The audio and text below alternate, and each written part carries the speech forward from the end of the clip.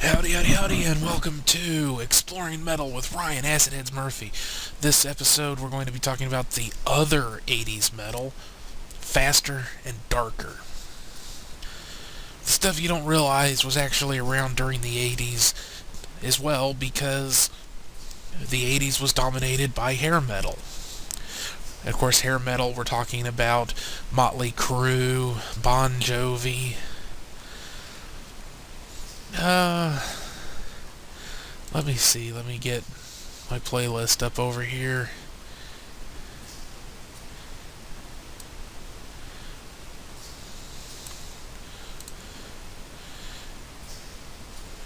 Um, let's see. So I said Motley Crue, Bon Jovi, Poison,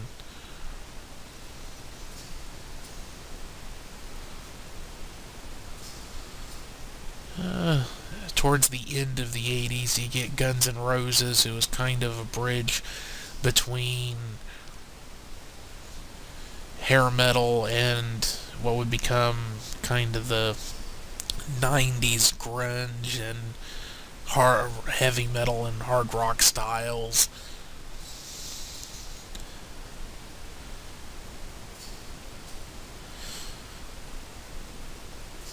Uh, let me see here. Of course, you've got Ozzy around in the 80s doing his thing. And kind of...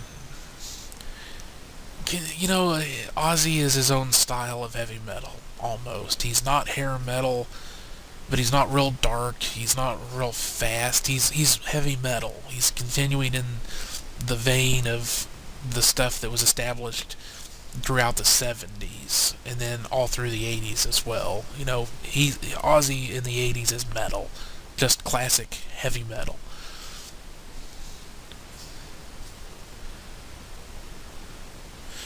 Uh, let's see. Is there anybody else I want to mention before we move on and get into the meat of this? I can't think of any of the others. You know, there were a lot of hair metal groups around. That's not the point of this one. But that is what people, when people think of the 80s, especially 80s metal, that's what they think of. A lot of people aren't aware that there was a hell of a lot of other stuff going on in the 80s. For example, Metallica started in the 80s. And they were a thrash metal band. You also have Anthrax and Slayer and loads of other bands as well, but, uh, you know, I'm trying to stick to the standouts.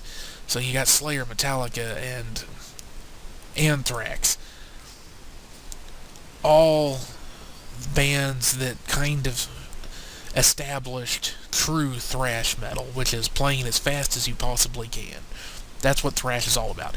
There's a lot of other uh, things that go into thrash metal. There's it's a, about a lot of driving rhythms. Uh, solos are still there, but very fast.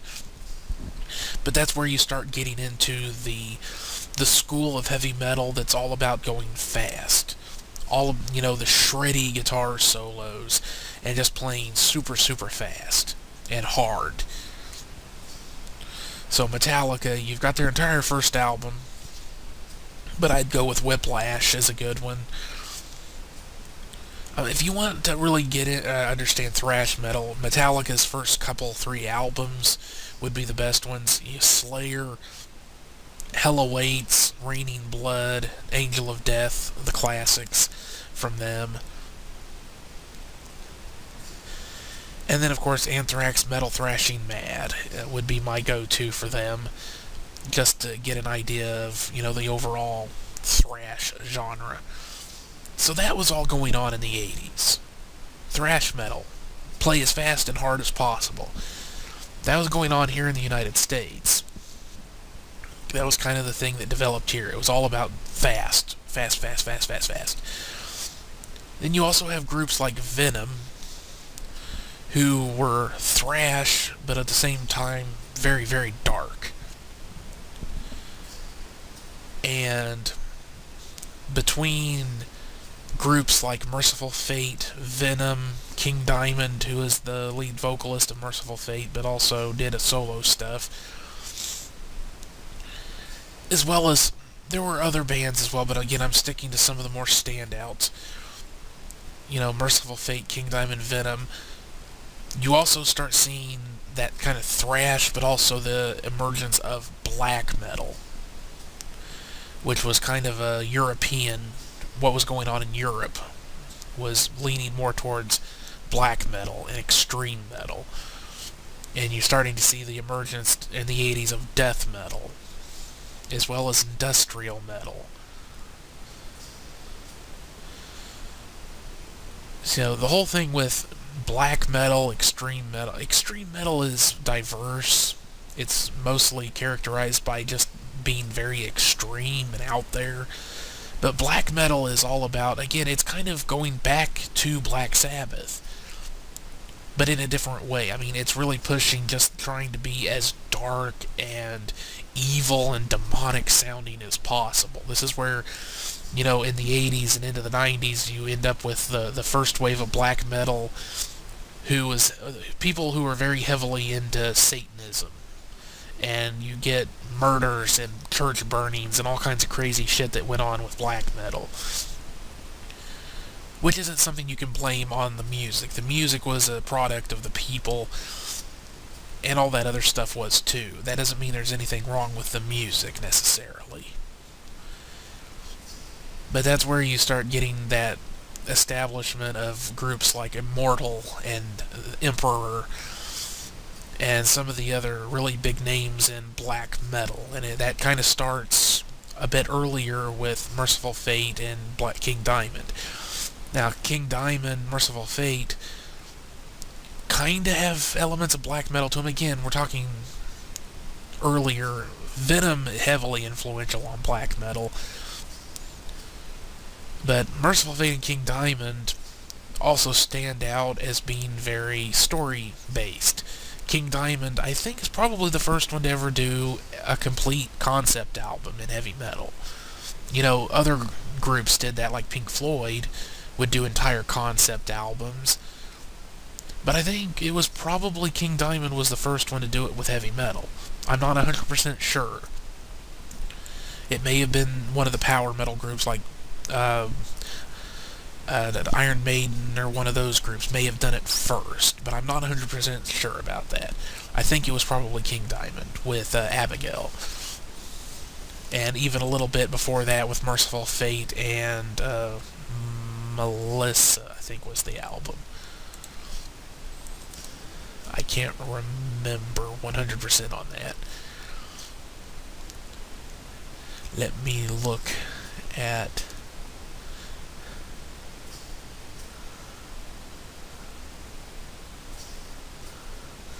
Where are you? There you are. Mercyful Fate. Yeah, Melissa.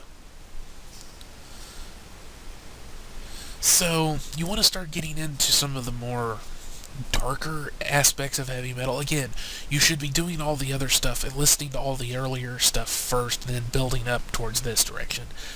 Go with thrash metal first, and understand thrash metal.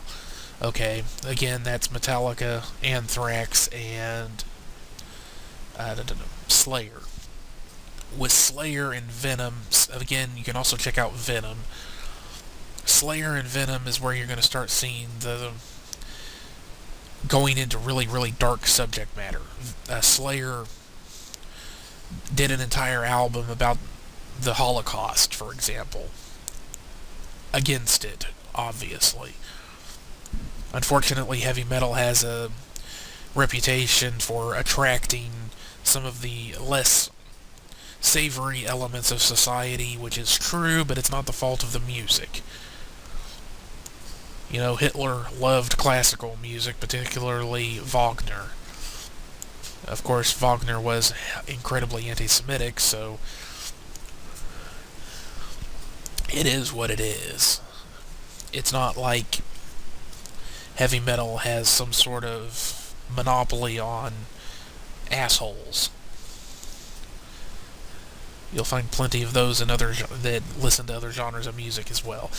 The point is that with groups like Slayer and Venom is where you really start seeing the exploration of really, really dark subject matter, and that kind of influences the black metal of the later 80s and into the 90s where you again you start getting into the really devil worshipping satanism and all that stuff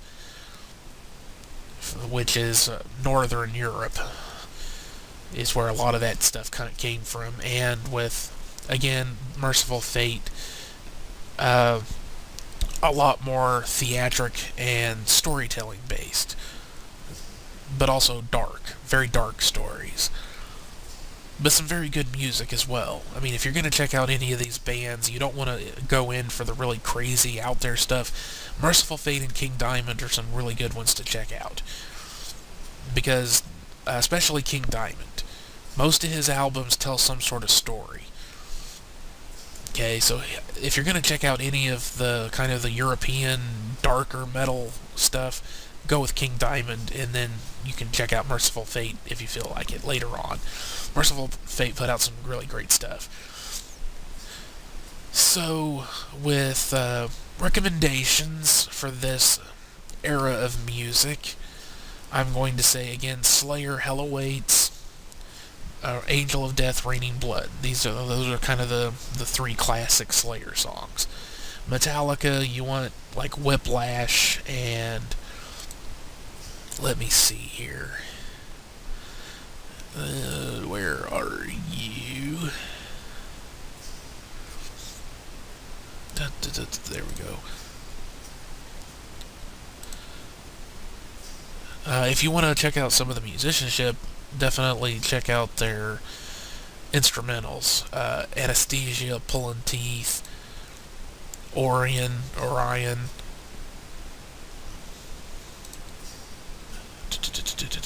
I believe it's To Live Is To Die. Ride the Lightnings is The Call of Cthulhu.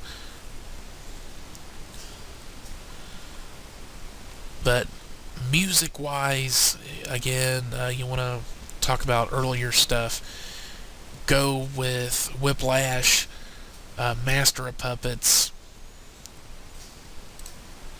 uh, For Whom the Bell Tolls is a good one for some of their slower ones. Uh, Blackened and Justice for All. Basically, the entire Injustice for All album is great, um, except for its noticeable lack of uh, bass, which is kind of a not so sure you'd consider it a joke. But you know, that's some Metallica you can check out for Anthrax. I'm not really big into Anthrax, so I'd say uh, Metal Thrashing Mad, but their early albums. You can also check out their uh, Anthrax was very influential in their own way because not only were they one of the pioneers of thrash metal, uh, they also were pretty much the first group to ever mix rap and heavy metal. So definitely should check out some Anthrax for those reasons. Uh, Venom, Welcome to Hell is a good one to check out.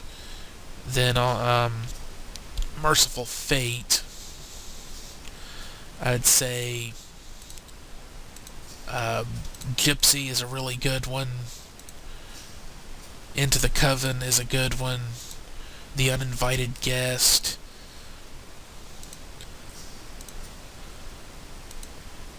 Uh, let's see. Egypt, the Bell Witch.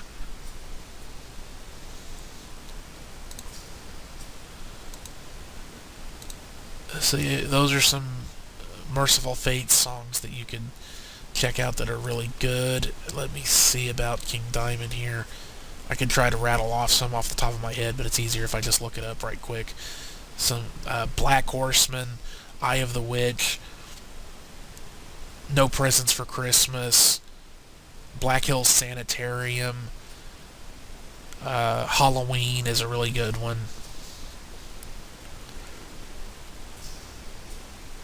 Uh, let's see, Black Horseman. There's another really good one on the Abigail album. The Abigail album is pretty damn good. Black Horseman is my favorite song off that album. As well as, let me get to my K's up here.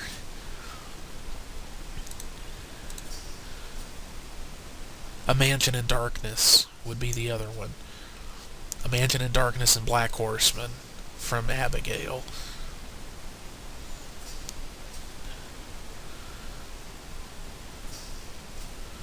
You can also just pick up the Deadly Lullabies Live is the one that I usually listen to. You know, that's got a lot of really good stuff on it.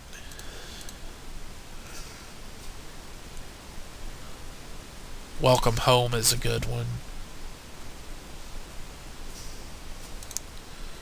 So yeah, Deadly Lullabies Live is a, a good one to check out for King Diamond. Okay, so that kind of brings us through the 80s. And there was a lot of stuff going on in the 80s, obviously. But as far as heavy metal goes, that's where there was a lot of significant branching in the genre. That's why I did two videos just pretty much for the 80s. And, eh, you know, the late 70s and into the 80s.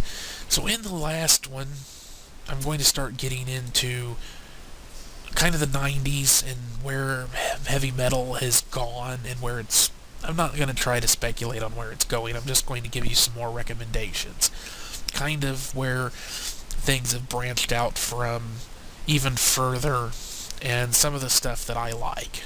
I'm just going to, you know, that's what the last video is going to be mostly is recommendation, pardon me, recommendations of stuff that is a bit newer that I happen to enjoy, as well as kind of going through the 90s and, you know, heavy metal from the 90s and where it kind of branched out even further in there. So thanks very much for listening, and I'll see you